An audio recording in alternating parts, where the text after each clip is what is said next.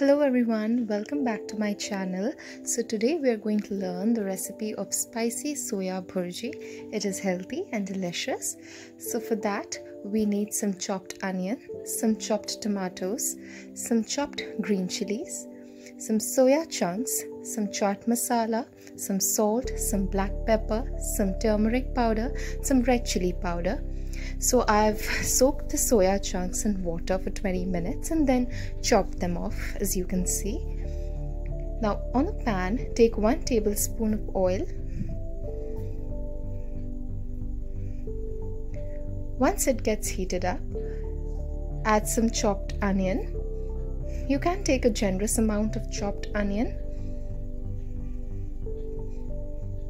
Then saute them well around 10 to 20 seconds till they become translucent.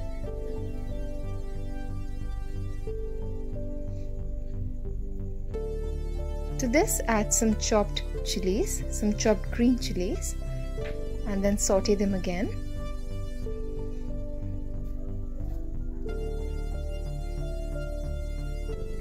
To this add the chopped tomatoes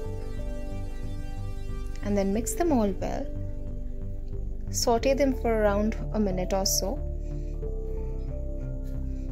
Make sure that they cook well and make sure that your uh, pan is hot.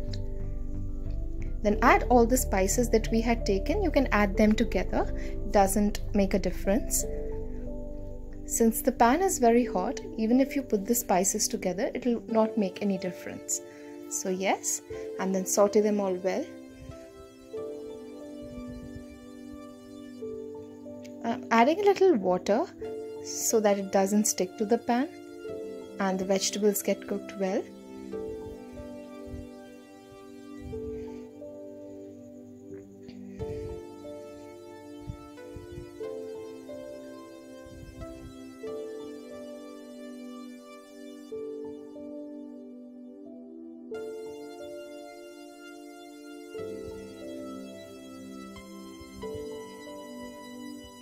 as you can see I've chopped them very finely here so that you know they soak in the masala well and then mix it all well.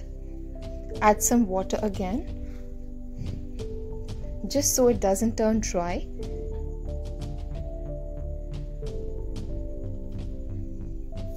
Mix it around 2 minutes like for around 2 minutes because you really need to cook the soya chunks well yeah or else they'll remain raw and it won't taste good.